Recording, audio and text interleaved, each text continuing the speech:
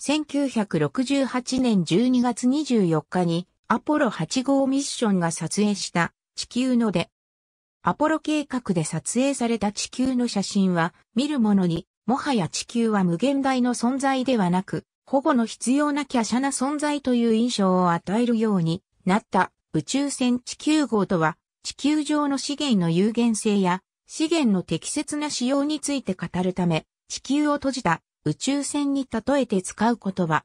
バックミンスター・フラーが提唱した概念、世界観である。また、ケネス・イー・ボールディングは経済学にこの概念を導入した。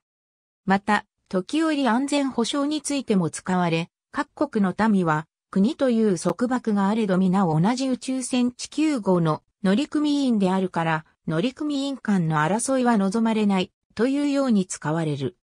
地球を宇宙を航海する船に見立てる概念として、最も初期のものは、19世紀のアメリカ合衆国の政治経済学者、ヘンリー・ジョージの名著、進歩と貧困に見られる。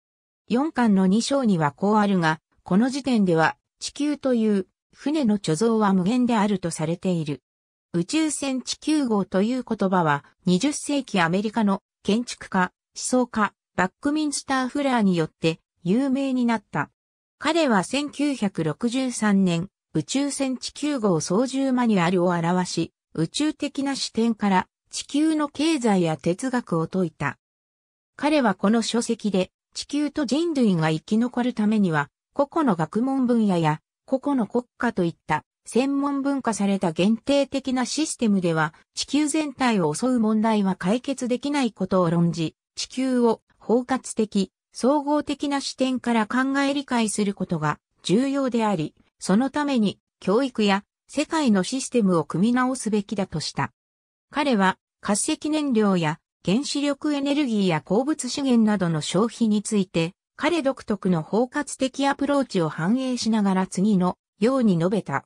フラーは地球の歴史とともに蓄えられてきた有限な化石資源を燃やし消費し続けることの具を説いた。これらの資源は自動車で言えばバッテリーのようなものであり、メインエンジンのセリフスターターを始動させるために蓄えておかねばならないとした。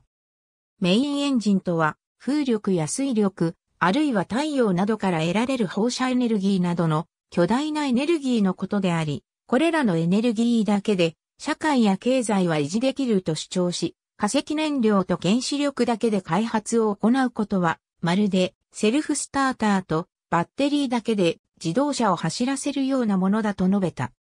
彼は人類が石油やウランといった資源に手をつけることなく、地球外から得るエネルギーだけで生活できる可能性がすでにあるのに、現存する経済や政治のシステムではこれが実現不可能であると述べ、変革の必要性を強調した。1966年、アメリカの経済学者ケネス・イー・ボールディングは、来るべき宇宙船地球号の経済学というエッセイのタイトルに、この言葉を使った。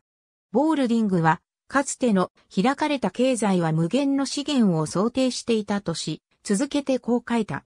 国連事務総長のウタントは1971年3月21日の最初のアースデーで日本の平和の鐘を鳴らす式典上こう述べた。ありがとうございます。